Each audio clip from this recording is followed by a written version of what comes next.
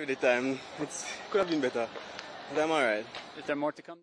Before we go into the news, a quick but important note. Many of you are watching our channel regularly but haven't yet subscribed. So please, I'm asking you to subscribe and help us reach our 100k subs milestone. Don't forget to like, comment, and share as well. In the world of track and field, newcomers often find it challenging to grab the spotlight, but Kishane Thompson managed to do just that. At the Jamaica trials back in July, Thompson, then a relatively unknown name, ran an astonishing 9.91 in the heats of the 100 meter event, capturing widespread attention.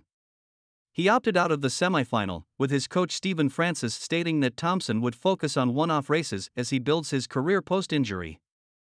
Fast forward to the Xiamen Diamond League in China, Thompson recorded a personal best, clocking in at 9.85 seconds in the men's 100 meter, narrowly losing to Christian Coleman, who finished at 9.83. But asked about his performance, Thompson replied, Honestly, it was a bit frustrating in a sense because I haven't been competing as much. So my race has been, thanks, Johan. They have been feeling a bit off, not really put together. I know that I got, I got the speed, but the execution is a bit, a bit for me. This race not only underscored Thompson's potential but also marked him as the fastest Jamaican this year, outpacing even Oblique Seville, a finalist at the World Athletics Championships. Asked if he was happy with the time you put down at the Diamond League meet in China. I'm alright with the time. It could have been better, but I'm alright. Is there more to come this season? Where do you go next?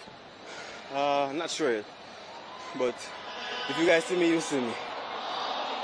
There you have it, a sprinter both humbled and motivated, making strides in a sport where every fraction of a second counts.